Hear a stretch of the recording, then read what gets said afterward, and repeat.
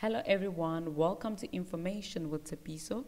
I am Tshepiso Hangwechana and you tuned in to Wednesday the 22nd of February 2023's Rhapsody reading.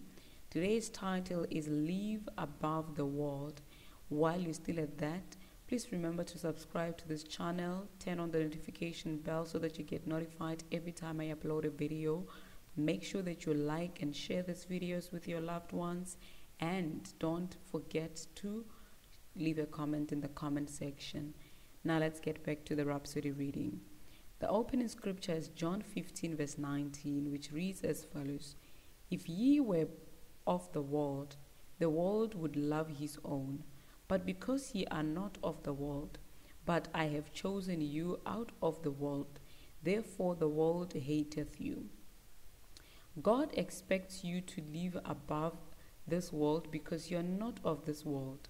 No wonder the Spirit, through the Apostle Paul, cautioned in, Corinth, in Colossians 2, verse 20 Wherefore, if ye be dead with Christ from the rudiments of the world, why, as though living in the world, are ye subject to ordinances? Refuse to allow your actions reactions, thoughts, words, and responses to be influenced or conditioned by the elements and rudiments of this world.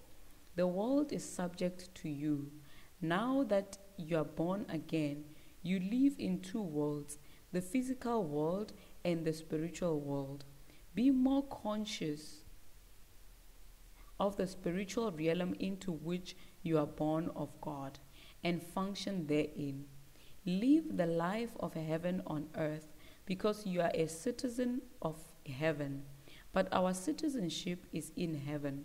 That's seen in Philippians 3, verse 20, with the ESV Bible version. Your outlook on life and your, or your contemplations should be guided by the word. That way, no matter what happens, you always win. Recall the words of Jesus in John 16, verse 33. These things I have spoken unto you, that in me ye might have peace. In the world ye shall have tribulation, but be of good cheer. I have overcome the world. You overcome the world in him. Therefore, dominate this world with the principles of God's kingdom and your faith. For whatsoever is born of God overcometh the world, and this is the victory that overcometh the world, even our faith. We see that in 1 John chapter 5 verse 4. Let us take the confession. Say, I am born of God, therefore I've overcome the world. I live in the victory and dominion of Christ over this world. I'm in rest, health, wealth, security, and peace with prosperity. I influence my world with the principles of God's glorious kingdom. Blessed be God. For further studies, we read Colossians 1, verse 12 to 13, John 16, verse 33 with the AMPC Bible version, and Colossians 3, verse 1 to 2. If you're on the one year Bible reading plan, today we read Mark 5, verse 21 to 43 and Leviticus chapter 22 to chapter 23. If you're on the two year Bible reading plan, today we read Matthew 16, verse 21 to 28, and Exodus chapter 3. Ladies and gentlemen, we've come to the end of today's Rhapsody reading.